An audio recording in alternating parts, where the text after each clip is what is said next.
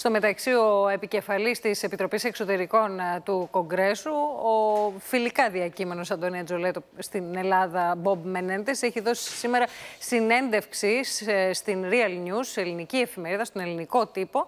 Ε, να ξεκινήσουμε, γιατί λέει πολλά και πολύ ενδιαφέροντα από την ταφόπλακα, θα έλεγα, που βάζει στο θέμα της πώλησης F-16 στην Τουρκία. Δηλώνει πως είναι ξεκάθαρα αντίθετο στην πώληση F-16 στην Τουρκία και από τη στιγμή που, όπως δηλώνει στη Real News, είναι στη δικαιοδοσία του Κογκρέσου, αλλά και της Επιτροπής Εξωτερικών και Άμυνας της Γερουσίας, που ο ίδιος είναι πρόεδρος, ουσιαστικά λέει ότι αυτό δεν θα είναι καθόλου εύκολη ναι, υπόθεση. Ό,τι και να λένε, από εμάς θα περάσει. Ακριβώς, ακριβώς και, αυτό. κατά τα άλλα; Τώρα, κατά τα άλλα, είναι σταθερά υπέρ των ελληνικών uh, θέσεων. Ε, μιλά για το ενδεχόμενο ενό θερμού επεισοδίου και έχει πολύ ενδιαφέρον αυτά που λέει, γιατί μιλάει και για τον Αμερικανό πρόεδρο, τον Τζο Μπάιντεν. Αναφέρει λοιπόν πως ο πρόεδρος Μπάιντεν είναι πολύ ικανός να παρέμβει, αλλά όταν πρόκειται για σύγκρουση θα είναι ήδη πολύ αργά.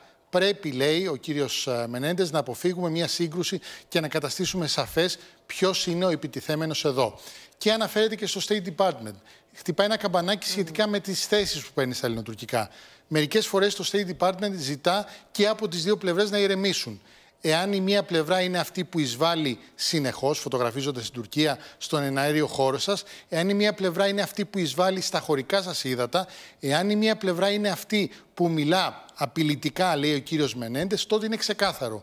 Δεν καλούνται και οι δύο πλευρές. Καλείται η πλευρά που δρά με αυτόν τον τρόπο και σε αυτή την περίπτωση είναι η Τουρκία. Εντάξει, πιο ξεκάθαρα δεν γίνεται να το πει. Μιλάμε για καρφάρα στο State Department από τον Bob Menendez, αλλά και ένα καμπανάκι στον Αμερικανό πρόεδρο ότι αν είναι να παρέμβεις, πρέπει να παρέμβεις πριν γίνει η σύγκρουση και όχι μετά γιατί θα είναι αργά. Πάρα πολύ ενδιαφέρον σε αυτή τη συνέντευξη. Σε ευχαριστούμε πολύ, Αντώνη.